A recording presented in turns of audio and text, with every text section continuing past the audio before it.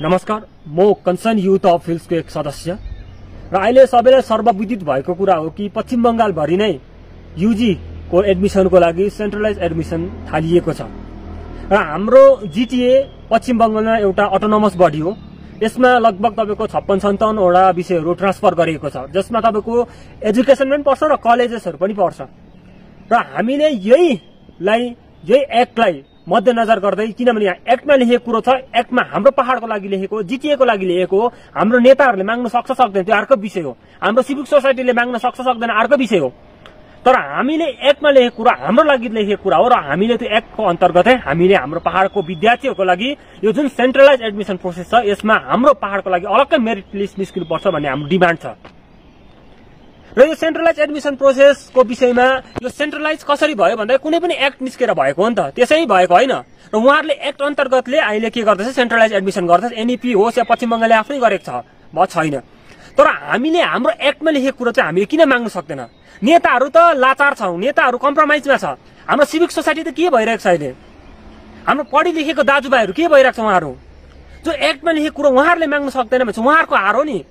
Civic सोसाइटीको हार हो नि अब हामी पनि उहाँहरूलाई हेरेर एक्टमा लेखेको कुरा चाहिँ नमाग्नु भनेको चाहिँ हाम्रो पनि हार हो हामीले त्यहाँ लेखिरहेको छ कि त्यहाँनिर केही न केही हाम्रो लागि छोडिएको छ। ट्रान्सपोर्ट विषय हो।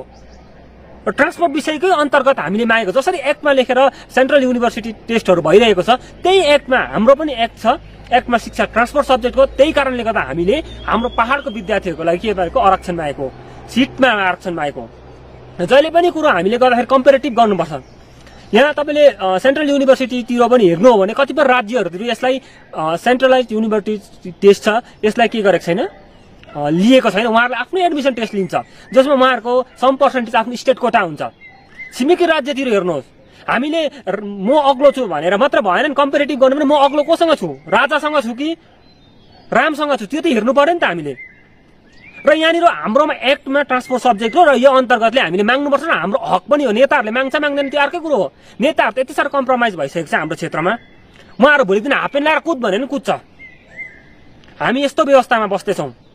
र हामी भन्छौँ हामीले योभन्दा अगाडि पनि नर्सिङको लागि नबोलेर हाम्रो लागि अहिले नर्सिङ कलेजमा कालिम्पोङ दार्जिलिङमा हाम्रो विद्यार्थीहरूको सङ्ख्या एकदमै घटेर गएको छ। र अब पनि बोलेन भने चाहिँ हाम्रो यो वर्ष एक दुई दिन एक दुई वर्षभित्रमा हाम्रो विद्यार्थीहरूको सङ्ख्या हाम्रै कलेजहरूमा घटेर जान्छ। र हाम्रोमा बोल्ने बाटो छ जो हो जिटिए एक्ट यो नभए हामी बोल्थेनौँ होला। र जिटिए एक्टमा लेखेको छ र लेखेको कुरो चाहिँ हामीले माग्नुपर्छ अधिकार हो।